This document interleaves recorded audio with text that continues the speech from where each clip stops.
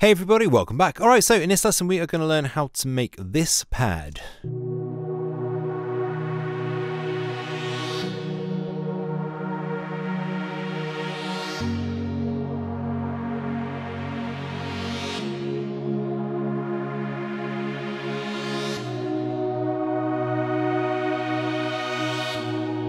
So this is from our sort of future bass tutorial but let's get into it. So obviously this is the patch and you can just download the preset for free, It'd be in the description of the video, plus the wave table that you need to be able to make it, or sorry, the audio sample that we use to actually make a wave table out of. But obviously I'm going to start from the initialized preset and we'll build it up from there. All right, so the first thing I want to do is change this to a multi-voice oscillator. Leaving it on 20% is absolutely fine. I'll just play that. Obviously it's a bit full on at the moment, so let's just add a filter to that as well. Just to calm it down a bit, I'm just going to re relax the resonance as well.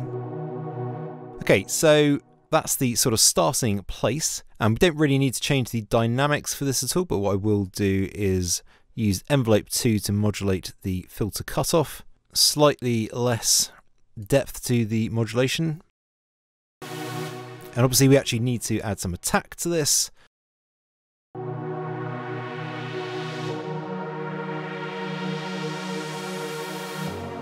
So what I'm looking for here is as you see that dot moving along the line representing its position in time, we want that to sort of uh, get to the top just as the notes are finishing. So if you're making this patch, it depends on the BPM of your track, how long the chords are, sort of how uh, much attack you want for this particular setting.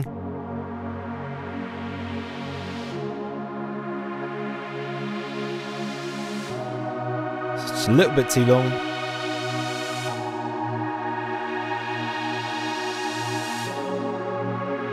So something like that's absolutely fine. But I want to give this a slightly sort of non-linear feel, so let's just do that.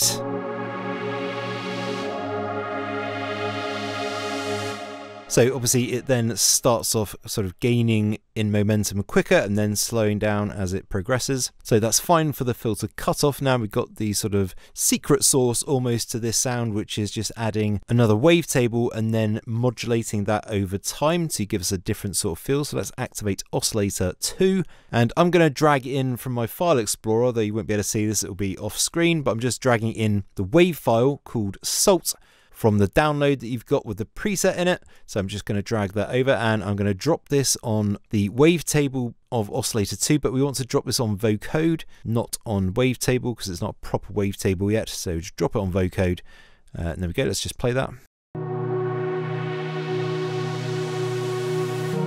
Obviously it's not really doing much at the moment because we need to modulate this. So I'll just play it and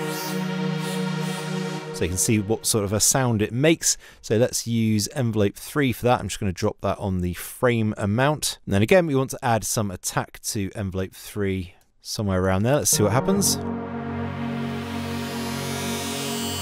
So it's just not quite long enough there.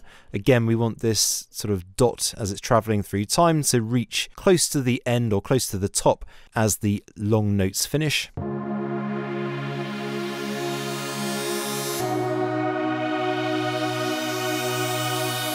So somewhere around there is perfect, but we want to make this non-linear like we did before, but we'll have it the other way around. So we'll have it start off very slowly and then gain in momentum as it goes. So we'll only notice this addition towards the end of the notes. Just going to turn down the master out a bit.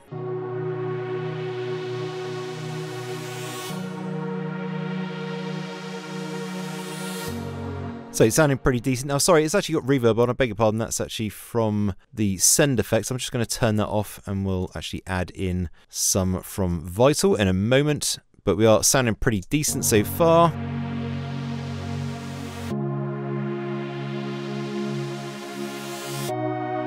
So obviously we can hear where we're going with this. Now let's just go and add some effects. So let's just get some reverb on there. Let's turn up the time a bit because it's a nice sort of deep luscious kind of pad evolving over time. So we're going to have it nice and deep sounding in the mix.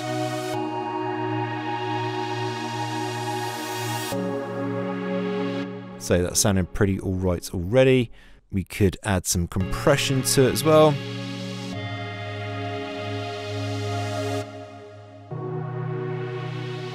Just to give it a bit of fizz, the preset or the stock sort of setting for the multiband compressor is actually quite nice at giving sound some air, so I quite like that. We'll just turn down the mix a bit because it's just a little bit too overpowering.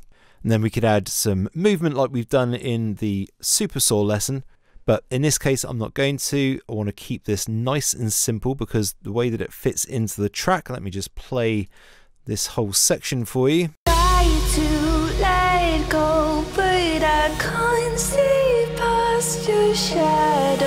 It's too hard to focus. These so as you can hear, it sort of just sits in the background. It's a nice sort of evolving thing that just kind of keeps this kind of tension and release sort of cycle going for each two bars. But the one thing I don't want to do is make this too complicated. It's not a main element, and it certainly doesn't need to have a constant sort of modulation going on it to make it sound different all the time. It's just used to sit there in the background of the mix.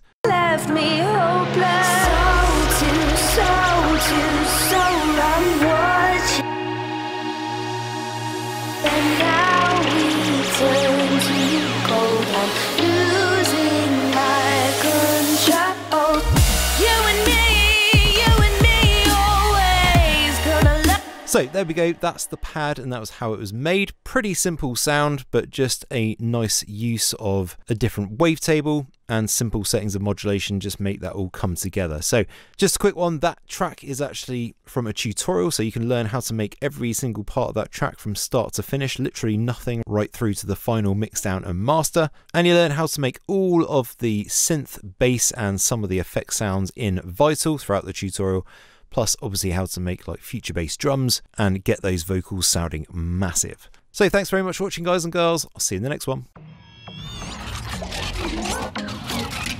Thank you.